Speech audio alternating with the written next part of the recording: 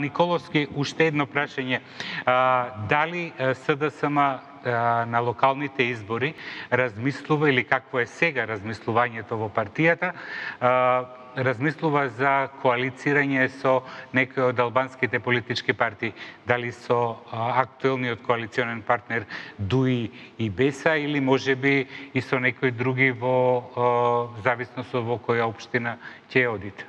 Ние а, е дел од нашата коалиција да. можеме, имаме одлични коалициски релации заедно со сите останати 27 политички субјекти од најголемата, најразнолика коалиција која што направивме за парламентарните избори. Секако со ДУИ постигнавме договор со кој што на вистина ги реализираме политиките односно поддршката секако ќе ќе продолжи во тој правец, така да верувам дека за сите оние кои што на на вистина се наоѓаат или делиме исти цели и вредности во рамки на нашето членство во НАТО, забрзувањето на на европските интеграцијски процеси, на растот на на економијата, на трансформирањето на обштеството, секако дека а, ние ќе бидеме целосно а, отворени, ќе разговараме со сите и верувам дека предноста која што имаме ќе биде целосно закружена со победа на локалните избори,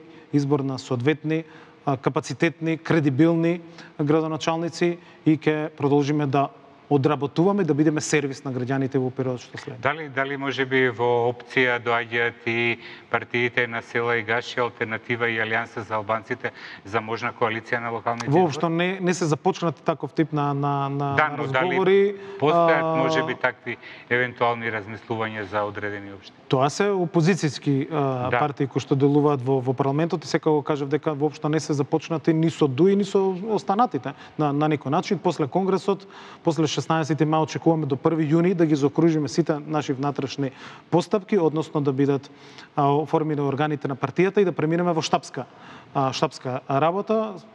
Партијата целосно подигната, крајната, мобилизирана, мотивирана, а, европска брза. И верувам дека брзо ќе ги донесеме сите одлуки значи, кои што се од интерес на граѓаните. Жешко лето во СДСМ пред локалните Ние воопшто и не сме престанале во предходниот период и години да да да работиме